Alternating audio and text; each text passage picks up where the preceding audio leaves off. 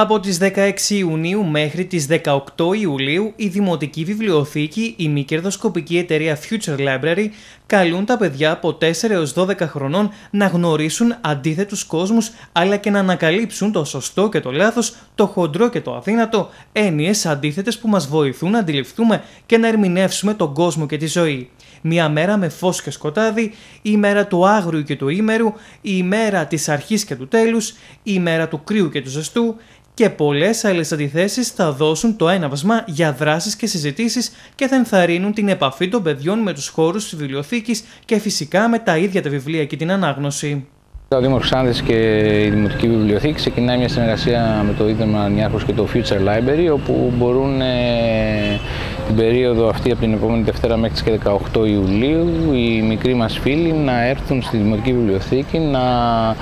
παρακολουθήσουν και να, ε, μέσα από διάφορους παιδαγωγούς και ανθρώπους οι οποίοι είναι ειδικοί να δουν αυτό το πράγμα που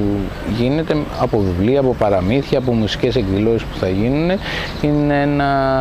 το Future Lab είναι ένα πρόγραμμα που γίνεται σε πολλές πόλεις του, της Ελλάδος, ξεκινάει και στην, στο Δήμο μας, όπου πραγματικά μέσα από και ευκαιρία από εσάς θέλω να ευχαριστήσω και τους εθελοντές, παιδαγωγούς, νηπιαγωγούς, λογοθεραπευτές, όλοι αυτοί που θέλουν να βοηθήσουν εθελοντικά αυτή τη δράση και πραγματικά να καλέσουν μικρούς μας φίλους, αν έχουν τη δυνατότητα, να επισκεφθούν τη Δημοτική Βιβλιοθήκη και μέσα από αυτό το πρόγραμμα να μάθουν ό,τι μάθουν, να το μάθουν από αντίθετα πράγματα. Έτσι είναι το σλόγκαν του Future Library και πραγματικά αξίζει. Θα υπάρχουν παιδαγωγοί οι οποίοι θα διαβάζουν παραμύθια ανάλογα το τι θέλουν να μάθουν το παιδί. Δηλαδή το παιδί σκέφτεται δυνατά αυτό που θέλει να μάθει και, και το, το αντίθετο προσπαθούν να το, το δείξουν και να το μάθουν είτε μέσα από παραμύθια, είτε μέσα από τη μουσική, είτε μέσα από τα βιβλία τα ίδια.